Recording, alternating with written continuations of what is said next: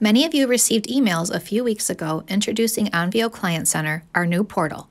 This video will walk you through uploading documents to your portal for tax season.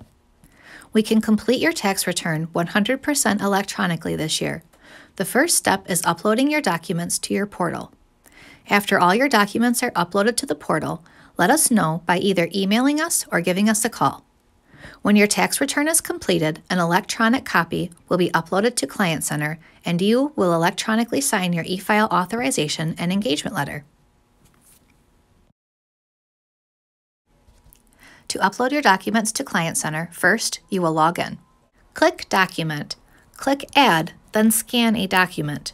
If you do not currently have a folder with your name, one will be automatically generated by clicking the Add File button.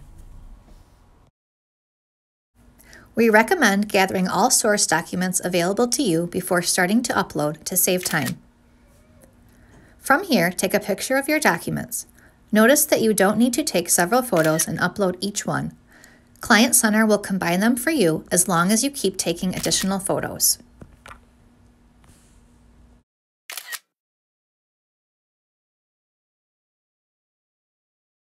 To review all captured images, click on the photo at the bottom of the screen and scroll through.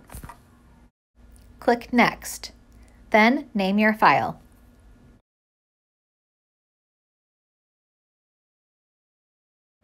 After naming your file, click Upload in the top right. After your document is finished uploading, a staff member will be notified. Your source documents and tax return will be available to you at any time.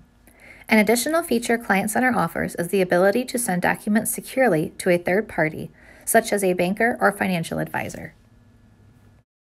If you need us to resend your registration link, need help setting up Client Center, or have any questions, please call our office.